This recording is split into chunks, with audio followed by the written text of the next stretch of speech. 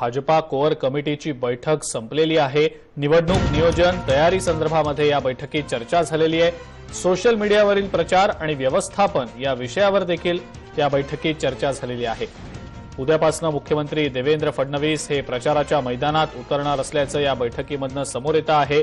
पुन्हा एकदा निवडणूक समितीची बैठक सुरू होणार असल्याचं देखील समजतंय मतदारसंघ प्रमुख राज्यसभा खासदार आणि विधान परिषद आमदारांच्या जबाबदारीचं देखील यावेळेला वाटप केलं जाईल. त्यांच्यावर नेमकी कोणती जबाबदारी दिली जाईल हे सांगितलं जाईल.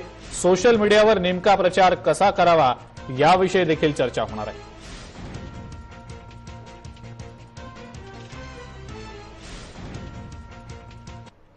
आणि या महत्त्वाच्या बातमी संदर्भात आपण अधिक अपडे- अपडेट्स जाणून घेणार आहोत. आपल्यासोबत आपली प्रतिनिधी सीमा दाते आहे सध्या. सीमा भाजपच्या कोअर कमिटीची बैठक आता संपलेली आहे आणि निवडणूक समितीची बैठक आता काही वेळात सुरू होणार आहे. मात्र कोअर कमिटीच्या बैठकीमध्ये नेमक्या कोणकोणत्या गोष्टी ठरल्या आहेत? कशा कशा पद्धतीनं जबाबदाऱ्यांचं वाटप करण्यात येणार आहे? काय नेमकं त्याबद्दल सविस्तर सीमा सांगताय.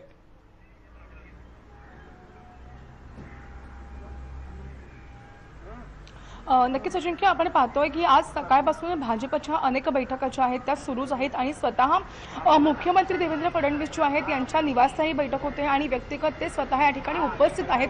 आणि त्यांच्या उपस्थितीमध्ये या बैठका ज्या आहेत त्या दिवसभर सुरू आहेत.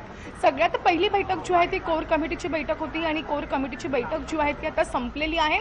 जे भाजपचे बडे मंत्री आहेत सगळे नेते जे आहेत ते या बैठकीमध्ये उपस्थित होते आणि कशा पद्धतीनं आपण हा प्रचार सुरू करायचा आहे निवडणुका ज्या आहेत त्यांचा प्रचार कशा पद्धतीनं सुरू करायचं आहे आणि त्याचबरोबर शिवसेनेसोबत कशा पद्धतीनं कॉर्डिनेशन करून आपल्याला सभा असतील प्रचार असतील हा सगळा सुरू करायचा आहे. हे जे आहे त्या बैठकीमध्ये निश्चित केलं गेलं. त्याचबरोबर जे आम- जे लोकसभा मतदारसंघातील जे प्रमुख आहेत जे आमदार आहेत किंवा राज्यसभेचे जे खासदार आहेत या सगळ्यांना कशा पद्धतीनं त्या मतदारसंघाची जबाबदारी वाटप करायची आहे?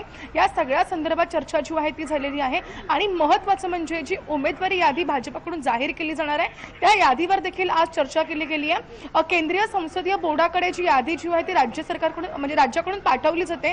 आणि तीच याची तयार झालेली आहे ती यादी पाठवली गेलेली आहे पण पुन्हा एकदा आज त्या यादीवर बैठक झालेली आहे. आणि लवकरात लवकर केंद्रीय संसदीय बोर्डाकडे मुख्यमंत्री जे आहेत ते आणि त्याचबरोबर रावसाहेब दानवे हे दोघेही दिल्लीला जातील. आणि त्यानंतर महत्त्वाचा आणि शेवटचा निर्णय जो आहे तो होणार आहे. या सगळ्या संदर्भातली बैठक जी आहे ती कोर कमिटीमध्ये झालेली आहे. या सगळ्या चर्चा झालेल्या आहेत. पण आता पुन्हा एकदा काही वेळातच जी निवडणूक निवडणूक समिती आहे.